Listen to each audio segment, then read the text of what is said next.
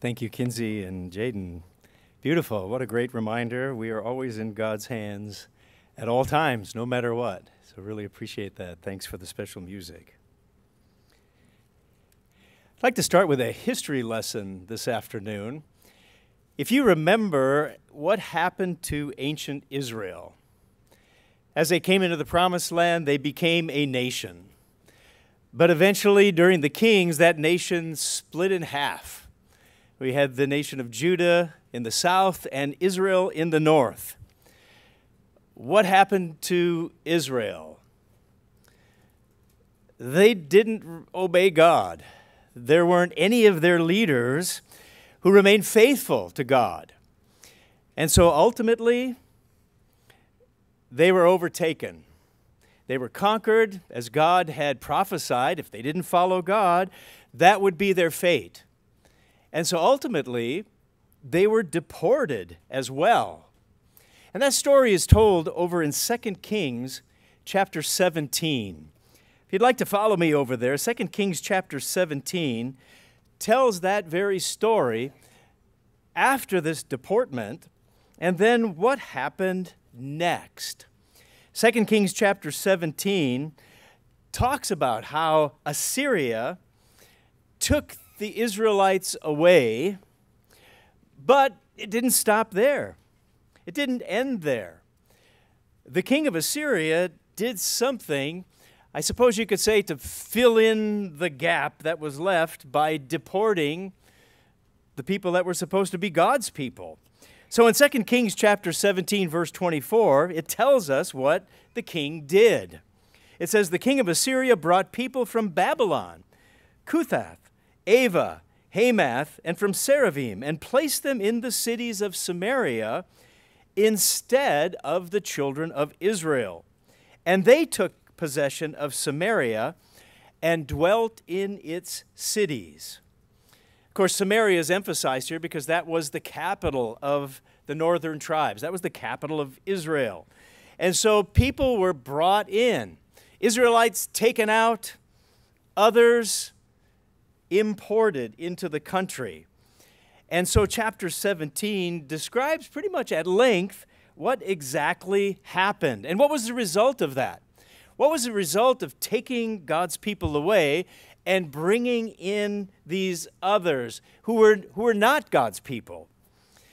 So I thought it might be interesting to take a few moments to find a few lessons to learn from these new people that came in, who became known as the Samaritans. These are now going to be called the Samaritans.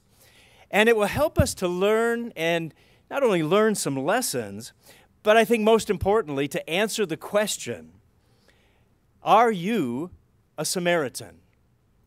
Are you a Samaritan? Now, as the people are described here in 2 Kings chapter 17, at first it sounds pretty good. sounds pretty good. When we look at verse 32, 2 Kings chapter 17, it says, So they feared the Lord. Wow, that sounds like a good thing. And of course, the word Lord here is the tetragrammaton, the eternal. This is the covenant name of God. They feared the Lord. Now, is that a good thing? Well, it depends. It depends. Notice what they did as it says they feared the Lord. It says from every class, or some translations say from the lowest or from all sorts of people, it says, They appointed for themselves priests of the high places who sacrificed for them in the shrines of the high place. Now, wait a second. You've, you fear the Lord and you're setting up false pagan idols, worshiping them in these high places? And who are supposed to be the priests anyway? Well, anybody we pick can be a priest, even from every single class, whatever it takes. We'll, we'll do. it. Well, wait a second this isn't the right kind of fear.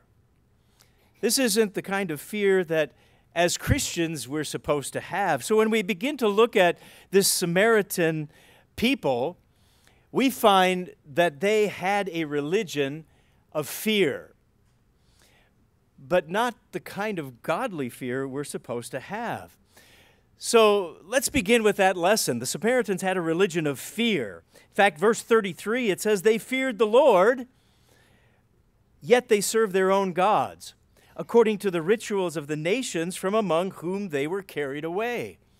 Obviously, they didn't have the truth. They didn't have the true direction that they should have and how to worship God, who should lead that worship, who should take care of the sacrifices. They didn't have that.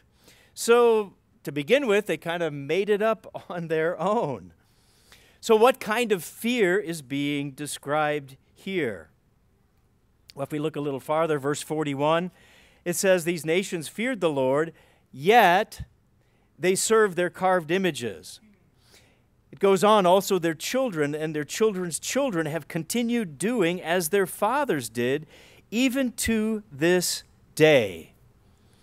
So, is fearing the Lord the reality of what they did, or what kind of fear did they have? This kind of fear was a, a shake in your boots kind of fear of the Lord. This was not a kind of love and respect and honor to follow the way God wants us to worship because obviously they threw in whatever it took. They served idols and they mixed it all together. So when we read about the Good Samaritan in the New Testament, no wonder they were hated by the Jews because they had this whole mixed bag, a whole assorted flavors of worship that they had combined together with a little bit of the truth, but a whole lot of falsehood. Because, yes, they were afraid of the one true God, but they, they weren't so big on the carved. We're kind of afraid of these pagan gods, too. We don't, we don't want to be punished by God. And so you, you, you have this dichotomy of what they, they really put into practice. It wasn't the truth, and yet there was this fear, this trembling that they had before God. Now, we don't want to get that confused that we shouldn't fear God, because many times in Scripture, aren't we told we need to have a healthy fear of the Lord? Christ talked about this. If you hold your place here in 2 Kings 17, take a look at Luke 7, verse 16. Luke 7, verse 16, we have the example of Jesus Christ. And he performed great wonders and miracles. And it astounded the people during that time that Christ walked the earth. And he preached and he taught and he healed. And this points to a specific incident, incident that happened during the ministry of Christ. And as Christ healed, notice what it says, Luke 7 16. It says, Fear came upon all and what was the result? It says they glorified God, saying, A great prophet has risen up among us, and God has visited his people. And this report about him went throughout all Judea and the surrounding region. And so uh, this points to a different kind of fear, not just a, a trembling kind of fear, not a kind of fear that would just bring worry and anxiety. It's not talking about that kind of fear. I think this kind of fear is pointing to an awe, pointing to this is someone we better respect because he is doing awesome, amazing miracles. And it deserves our honor. And we should revere this Messiah because of the works that he's done and because of, more importantly, who he is. This is God in the flesh. And so we see quite a difference between an improper fear that the Samaritans had and the kind of fear that should be evoked in us. Christ brought out this healthy kind of fear of honor and awe and respect, kind of the fear that's talked about in Proverbs. If you turn with me over to Proverbs chapter 14, Notice verse 27. Proverbs 14 27 describes the healthy kind of fear that we as God's people should have. And look how different this description is than the fear of the Samaritans. Proverbs chapter 14, verse 27, kind of picking up in the middle of the thought here. Just a short little passage. But notice the depth of what we're being told here. It says, The fear of the Lord is a fountain of life to turn one away from the snares of death. So it's an interesting thing when we consider the fear of God should lead us to life. It should bring about a perspective not of one of just tremble, trembling and fear in the sense of I am totally frightful of what might happen, but instead we see the emphasis that moves us and motivates us to draw closer to God and ultimately lead to life, which is a positive thing, which is a respectful thing, which is a thing that should bring about awe in us, respect for what God is doing. And in fact, it kind of reminds us of, of what Ecclesiastes says when it talks about here's the conclusion of the whole matter. Remember that section, Ecclesiastes chapter 12, verse 13? What's the conclusion of the whole matter? It starts with fear God. Fear God and keep his commandments. This is man's all. Because that kind of fear moves us, moves us to a spiritual perspective, to the kind of perspective that wants a desire in us to be like Christ, to develop godly character, to put on Christ. And that kind of fear in the Lord is one that motivates us to turn away from sin, to turn away from evil, and faithfully serve God.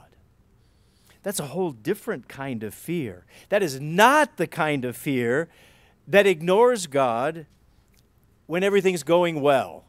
Everything's great, so why do I need God? Well, that's a Samaritan kind of a fear. Everything's fine, so I don't have to worry about that God. I've got the God of the valley to watch over me, I've got the God of the harvest to watch. wait a second. They also trembled at the prospect of facing God. So, what is our perspective? You see, the Samaritans, if you've still got your place held there in 2 Kings, uh, flip back there for a moment. Here we see that wrong kind of fear exemplified as we look to verse 25. 2 Kings chapter 17 verse 25 as the people were brought into the land to take the place of the Israelites it tells us at first they didn't fear the Lord. They didn't understand that the people that were there before worshiped the true God, not a plethora of gods, not any old god, any pagan idol. No, they didn't understand that. And so something interesting happened that was brought about by God. Verse 25 it says, And so it was at the beginning of their dwelling there that they did not fear the Lord. Therefore the Lord sent lions among them, which killed some of them. Now it's kind of interesting God's promoting a fear among them. But instead of a fear that motivates them to praise God and worship God and draw closer to the true God, all it did is bring about terror. And they were paralyzed by fear.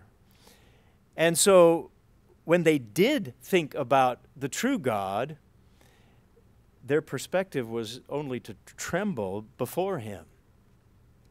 That's not what God intended. God wanted them to turn to Him and worship Him alone. But like the Israelites, they just didn't do it. The, the lions didn't even help. It's interesting in the story, they even brought in priests of the Lord so they could mix that in with what they believed, thinking that might help as well. Well, if we sprinkle in a little bit of Christianity, that ought to be good enough. Well, that's part of the lesson. We ask ourselves, Am I a Samaritan? You see, part of answering that question would be facing that thought of, well, am I guilty of thinking of God only when I'm sick? I only think about God when I'm going through a difficulty or trial? Is that when God really comes to the forefront of my thinking? I mean, am I really only serious about God when life is full of trials? Or do I really put God at the forefront of my thought when everything's great, when life is easy, when the joys are just in overabundance? Is that when God really comes to our thinking? Or is it just with the problems and the challenges and the difficult? Or is it when we really are enjoying the prosperity of the blessings of living in this country? You see, the Samaritans would be turning to God only when things were going wrong. And if that's where we're at, then our religion is no different than the Samaritans. You see, with the proper kind of fear, it should change our perspective. With the deep awe and the love and the honor and the respect, respecting God's power, respecting His authority in our life, that kind of fear of the Lord should motivate us to the most important thinking that we could have. And that's thoughts of love and respect and honor to God. Have you ever thought of it that way? The fear of the Lord should motivate us and lead us to love God, to honor God. And so that healthy kind of fear, yeah, it, it would certainly have in mind some of the consequences for not obeying God. Yeah, can't ignore that. But most importantly, it should lead us to love. That's the most important of the commandments. We love God and we love our neighbor as well. And so when we begin to consider that, that important aspect of proper fear is something that should frame our thinking, should frame our relationship with God. The apostle John wrote about this all the way back in 1 John chapter 4. Notice how he connects that together, that very thought. Now, I'm not sure if he had the, the Samaritans in mind, but certainly you can't help but thinking that as you read uh, this section of Scripture in 1 John chapter 4. We'll begin in verse 15. 1 John 4 15, putting that into perspective in our lives and dealing with the right kind of healthy, godly fear. 1 John 4 15. It says, Whoever confesses that Jesus is the Son of God, well, if we stop there for a moment, what did the Samaritans say? Well, God is a God, and we're worshiping God. They could say that. They could confess that God is God. Of course, they also confess that these other pagan god. well, Baal's God, you know, and you know, so is Marduk, and they mix them all together. Well, wait a second. Can't be that. Here we see the difference. We can't mix and match. We can't have this syncretism of combining different ideas. And of course, today in our world, that's one of the challenges that we face. Because everybody's right. Whatever your opinion is, that's as good as their opinion. Whatever your thought is, well, that's just as good as that. What your truth is, well, that's good for you. But, well, that's not their truth. But you see, when you connect that to a healthy fear of God, you confess Jesus is the Son of God, but notice it motivates us and moves us so that God abides in Him and He in God. So it frames our relationship with God. And so, as the Apostle John writes, verse 16, we have known and believed the love that God has for us. God is love, and he who abides in love abides in God, and God in him. Love has been perfected among us in this that we may have boldness in the day of judgment, because as he is, so are we in this world. So he's focusing on love. Well, what does love have to do with the fear of the Lord? You might say, well, boy, those are totally opposite things, aren't they? No. No, here's John.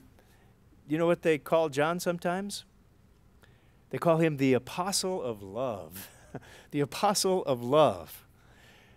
But you know, we could call him the apostle of fear as well a right kind of godly fear, because as he's talking about this right relationship with God, he says, We don't have to have the shaking in your boots, anxious thoughts when it comes to the judgment. Because we'll all stand before the judgment seat of Christ, which we are right now in the church. We're standing before God every single day. We are being judged now. Judgment is now on the church of God. And so, as we consider that, in that day when Christ returns, he says we can have Boldness.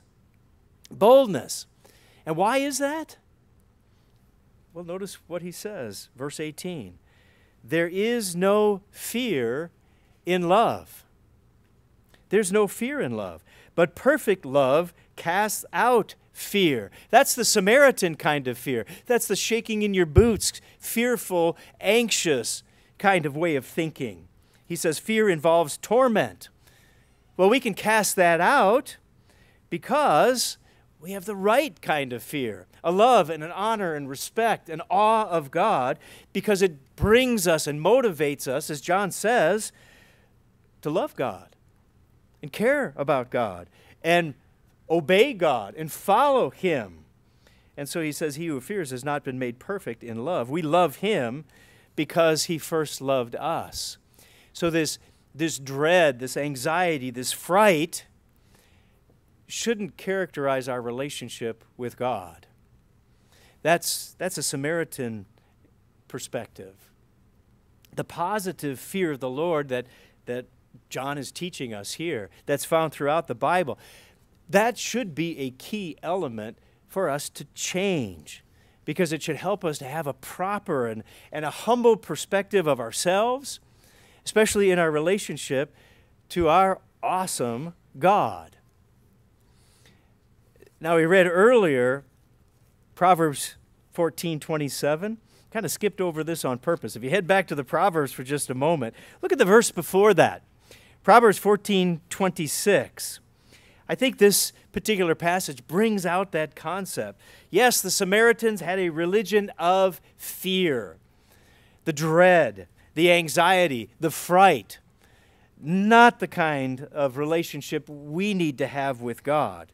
Proverbs 14 26 certainly brings that out. It says, In the fear of the Lord, shaking in your boots, anxious, dread. No, it doesn't say that. It says, In the fear of the Lord, there is strong confidence, and his children have a place of refuge.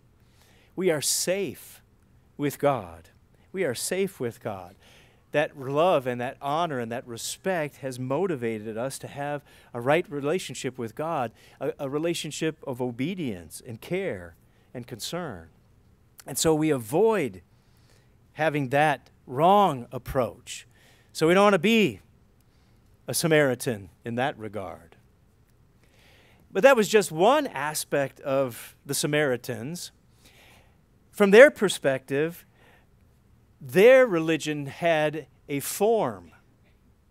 It had a form, but no substance, no righteous substance. What they did, yeah, there were things that they practiced. If you've still got your place held in 2 Kings 17, head back there for just a moment. 2 Kings chapter 17, verse 34. It kind of describes what happened? Did they then, because they feared the Lord, did they put righteous service into action? You know, did they obey God? Did they worship the true God the way He told them He wanted to be worshiped? Well, I think you already know the answer.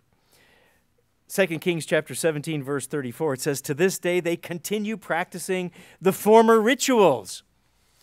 All right, they didn't give up their past. They incorporate it. It says, yes, they do not fear the Lord, even though verse after verse before this said they feared the Lord. No, that fear didn't motivate them to love and, and worship God in the true way.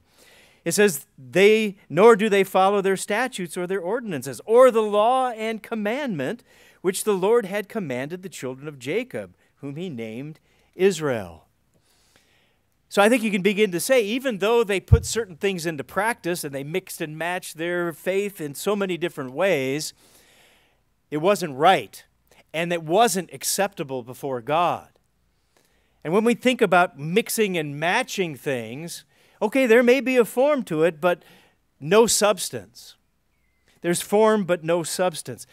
If you were in politics, you'd probably say rhetoric over reality yeah, you're all talk, but when it comes to actually doing what's right, you're lacking. Sometimes they say style over sub. You look good, it seems right, but when you really get down to the heart of the matter, it's wrong. It's unacceptable. And so when we consider that, We have to get beyond the facade. Boy, did the Samaritans look good. They looked very religious, but no depth. The reality, no relationship. And so, to answer that question, am I a Samaritan? I mean, this translates to today as well. God has certainly given us forms, a form to worship Him. He gives us the holy convocation, and we come together to worship and praise Him the way that He commands. He gives us the holy days, special days of worship and honor and respect to God, commanded assemblies. We can't hedge on these things. He's given us prayer and singing, giving, serving. All of those things we could say have a certain form about them. But when we think about the substance, because, boy, singing could look very different. You could be singing for all the right reasons, for having all the right thoughts. And yet, if we go through the form of even appearing before God, yeah, we all look the same when we show up at church. But what's the reality of your life? You see, if we go through the form without the substance, what do you call that? Hypocritical. That's insincere, dishonest. It's phony, it's fake, not real. And that's something that God takes very seriously. Very seriously. Christ taught about it, Matthew chapter 15, verse 3. He faced so many during the time of his earthly ministry that had, a, had an amazing form. But the substance of actually honoring God and worshiping Him throughout their life was without substance. It was rhetoric over reality, definitely style over substance. And so, here in chapter 15, he's condemning the religious leadership. He says, Why do you transgress the commandment of God? Because of your tradition. Verse 4, Matthew 15. God commanded, saying, Honor your father and mother. He who curses father, let him be put to death. But you say, Whoever says to his father, Whatever profit you might have received from me, well, that's Corban. That's a, a gift from God. Verse 7. What does Christ say about them? Hypocrites. Hypocrites. He says in verse 8, These people draw near with their mouth and honor me with their lips, but their heart is far from me. In vain do they worship me. Well, that's not that's not me, is it? You know, am I am I a Samaritan? That's where we need to we need to check. We need to check our perspective. We could do this even by thinking about the hymns that we sing. You know, we we turn to page 72 and we sing, Oh, how love I thy law! It is ever with me. It is my meditation. Well, when's the last time you actually read Psalm 119? If I haven't read that, can I claim I really do love your law? You know, we sing, well, we sang it this morning, or we sang it just before services here as we began. God speaks to us. Do we listen? God speaks, no doubt about that. My people hear my voice. Do we listen? Do we really listen? We sing hymn number one Blessed and happy is the man. But I'm totally bored at church. Or do I really focus and recognize we are in the Word of God? It is God's holy, inspired Word. Are we really happy? Or I'm not into it. I can't wait till we're done because I got plans to go out to dinner tonight. I mean, what is our perspective? And see, God says that's an expression of whether or not we really fear the Lord. Is it really praise? Is it really worship? You see, it's not about the style, but it's about the substance. And of course, if we have both, which we should, then we're emulating the example of David where he sang and wrote those words Lord, I will praise thee with my whole heart. Psalm 138. Are we in it with our whole heart? Or just the convenient part? You see, that's the challenge for us. Do we really praise God? I will praise thee, O eternal. I will show forth thy great works. Is our life really showing forth God's work? You see, that's a reflection of healthy fear. The fear that motivates us because we have such an awe and love for God that it's evident in who we are. And it's our identity. And so when we sing those words and we pray, Give ear unto my words, O Lord, is it just going through the motions? Or are we really all in? Is it, ah, it's just another Sabbath service? Or is the substance, the heart of the matter, really there? You see, God calls on us to be authentic. He calls on us to be the real deal. Are we really genuine? If we answer that question, Am I a Samaritan? we cannot afford to be like them. There was certainly their perspective of form over substance. Now, when we consider their religion and we, we look at what it says in 2 Kings chapter 17, there was also something that we have to be so careful about. You see, the Samaritans also had an aspect to their religion that was all about compromise. It was all about compromise. Take a look back at 2 Kings chapter 17. We read verse 41 a little bit earlier. Yes, they had the true God. They even imported priests to try to teach them the true way of worship and sacrifice the way the priesthood was supposed. But God was never exclusive. God was never their sole way of worship. Here it says, yeah, they had the true God, but they had all these other gods. It says they served their carved images, their idols. And they continued to do that and passed it on to their children and their grandchildren.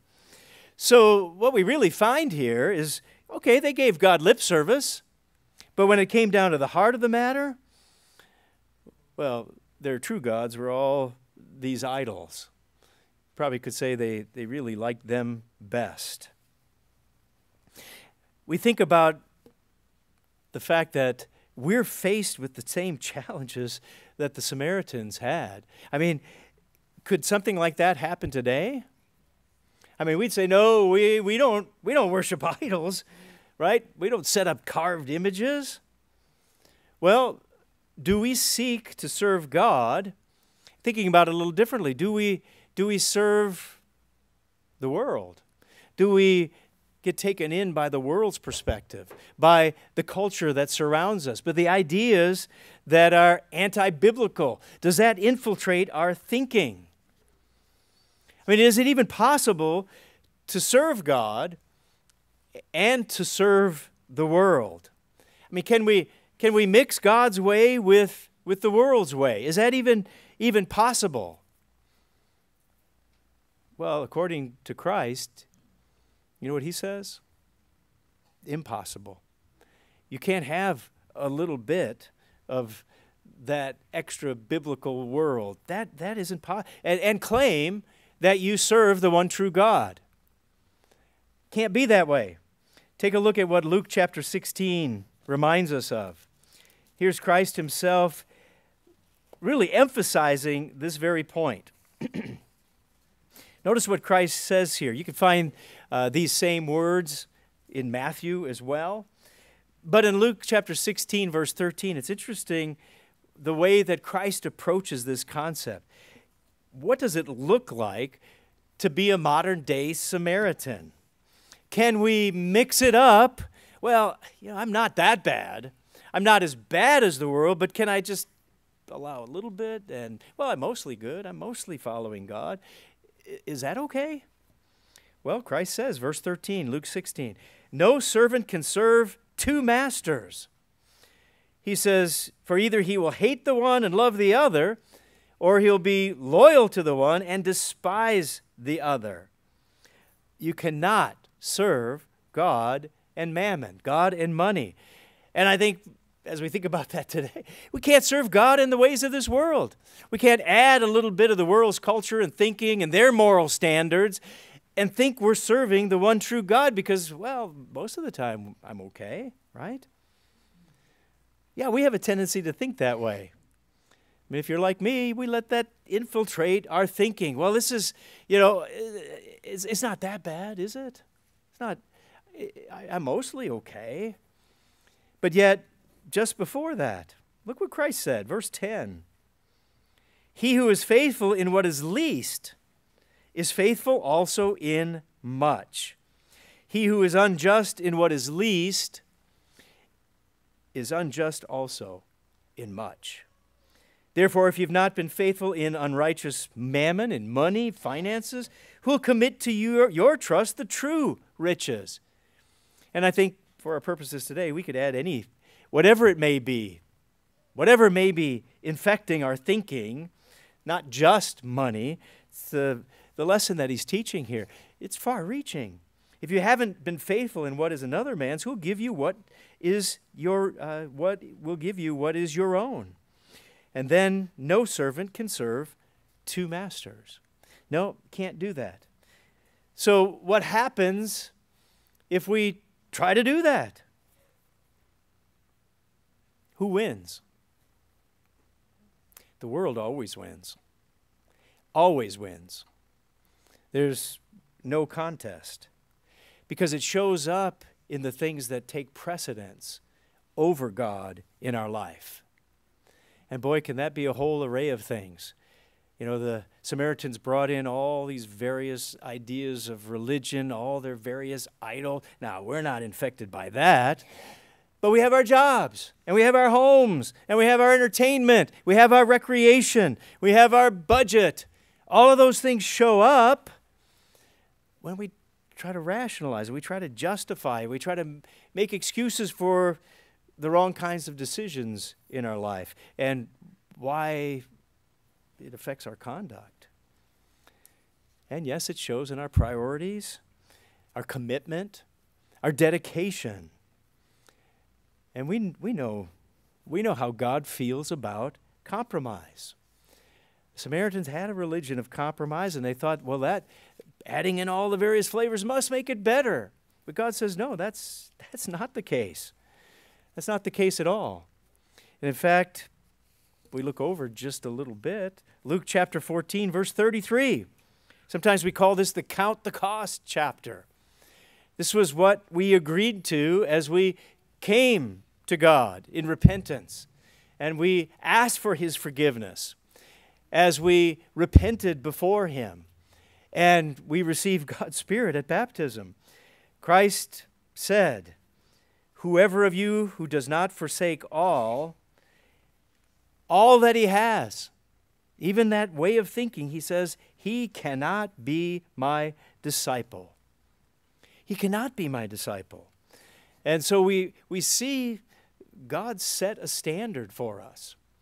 And he gives us the help so that we can meet that standard. On our own, yeah, Luke 14 is, is pretty amazing. Can we build a spiritual tower? He says, well, that's where we're called to do that. We're called to build a tower. Well, do you have what it takes? Really, the answer is no. the answer is no. I don't have what it takes. Spiritually speaking, I need God. I need His Spirit. No, I cannot, with an army that I'm outnumbered by twice as many, I can't win that battle. But with God's help, by the power of His Spirit, I can overcome.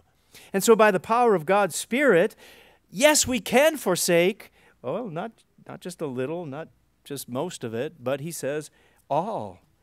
By His power, we can. We can. And so, oftentimes throughout the Bible, we're reminded of that, that we are called to that way of thinking. We're told way back in the, the beginning of the Bible, in Deuteronomy chapter 6, uh, you don't need to turn there because you know this. It says, Love the Lord. Well, how do we love the Lord? He says, with all your heart, all your heart, all your soul, with your entire being, and with all your strength. So that's our calling. That's what God expects. Plus, He doesn't expect us to do it on our own. He's there to help us and guide us. And by the power of His Spirit, it makes it possible to have the proper awe and love and respect for God so that it's reflected in who we are. Because this, this idea of the Samaritan perspective of compromise, it can undermine our faith. And it is a serious thing. Maybe on the surface it doesn't look that bad. But the Apostle James put it in an amazing way. If you look over to James chapter 4, James chapter 4, verse 1. Here we see how serious an offense it is if we take on those Samaritan perspectives of hedging or compromising. Notice the way that James kind of illustrates this very way of thinking. James chapter 4, uh, interesting that he starts out with this concept of the problems and difficulties that we have among ourselves. And in James chapter 4, verse 1, he says, Where do wars and fights come from among you? Well, from my own self interest, he says. He says, Don't they come from your desires for pleasure that war in your member? It's from a human nature point of view, a human nature kind of a thing. You know, can we worship the true God in that way? He says, No. No. We don't follow God. If we hedge on God's way, He says, You lust, you don't have, you murder, covet, you can't ob- obtain, you fight, you war. You have because you don't ask. It's not at the forefront of our thinking. He says, You ask, you don't receive because you ask amiss, that you may spend it on your pleasures. So he's really describing this whole attitude of, of compromising. Well, I'm saying I'm putting God first. Well, I'm asking, but wait, I'm asking from a wrong motivation. I'm not asking from a perspective of fearing God that motivates me to love and respect. It's not that at all. And so he says, you don't receive. We take on the compromise of yeah, the, the, our culture around us. And he says, don't get caught up in that. And then he really, really just lays it down as he says how, how serious this is. Notice verse 4. Notice verse 4. If I read, read this from the Living Translation, he says, You adulterers. This attitude of, of compromise, he connects with adultery. Adultery, well, that's one of the big. T- adultery is a lack of loyalty. You're not loyal to your commitment. You're not loyal to your mate. You're not loyal to God. And so he just lays it on the line and says, You're an adulterer. You're called to a unique relationship with God, and no other can have any part. Can't be that way. He says, Don't you realize that friendship with this world makes you an enemy of God. Now, it's interesting, adultery, certainly that's cheating. That's cheating on your mate. We are to be married to Jesus Christ. We're to have that kind of a relationship with God that is close and loyal and committed. Here he says we're adulterers if it's not like that. But he even drops it down to friendship with the world. Well, that's not adultery. I'm just friends. that's not acceptable either. It's not acceptable. And so he shows us very clearly that relationship has to be reserved for God alone.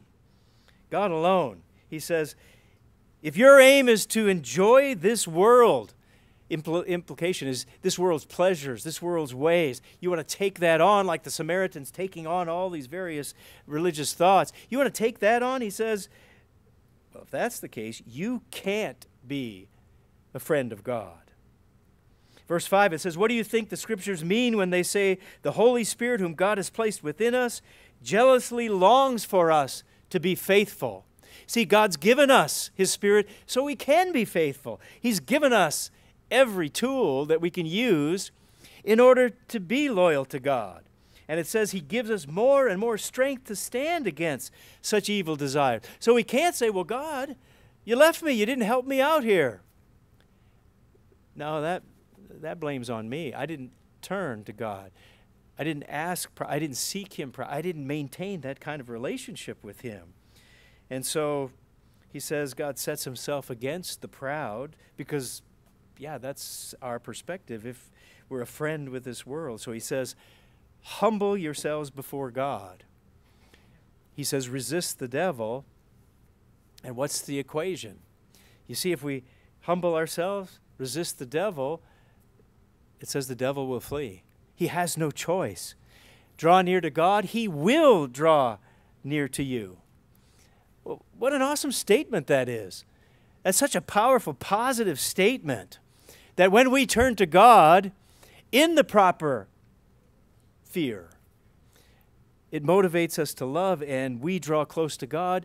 He will draw close to us. He will help us in times of need as well.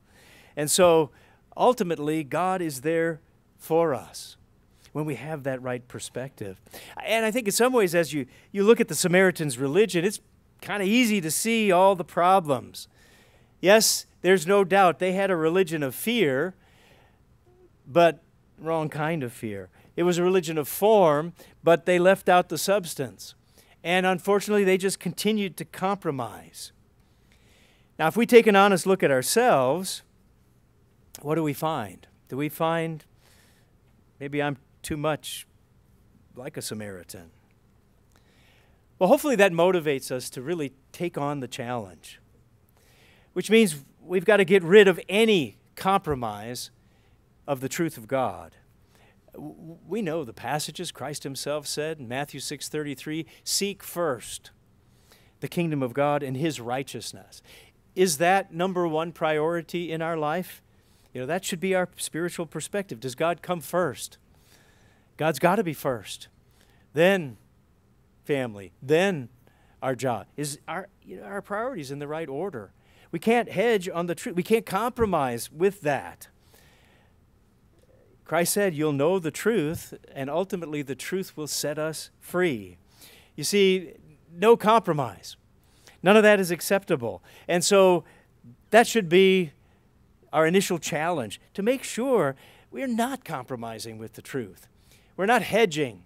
We're not giving in to the influences around us. We are drawing near to God, and He promises to draw near to us. We are humbling ourselves before God because we are fearful of God, in an awe, in a respect, in a love. And if we don't obey, yes, a trembling kind of a fear as well. That is part of it. So it moves us to obedience.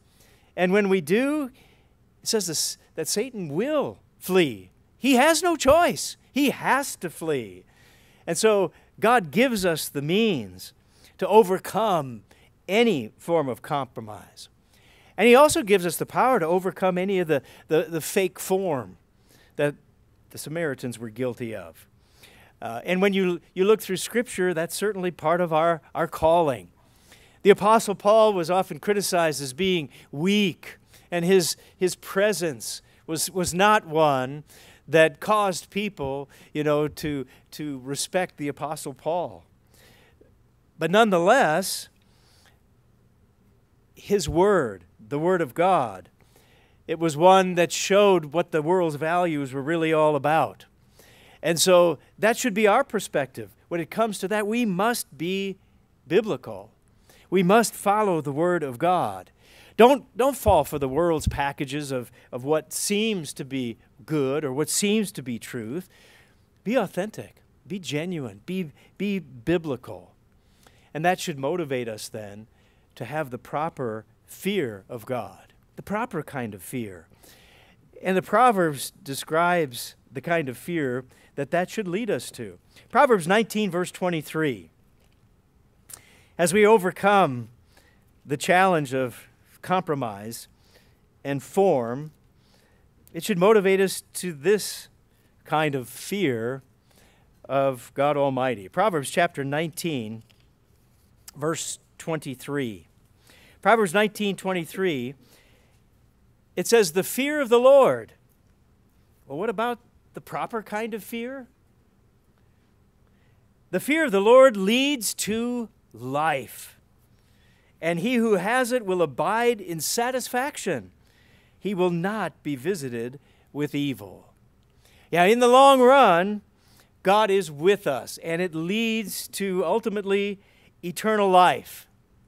It leads to living in the presence of God for eternity. And so when we recognize the challenge, let's not fall for the Samaritan's religion. Let's not fall for the modern day package of what that looks like.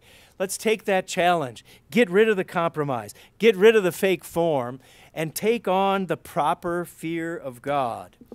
Then we can truly say that we're true worshipers of God and that we worship the one true God in spirit and in truth.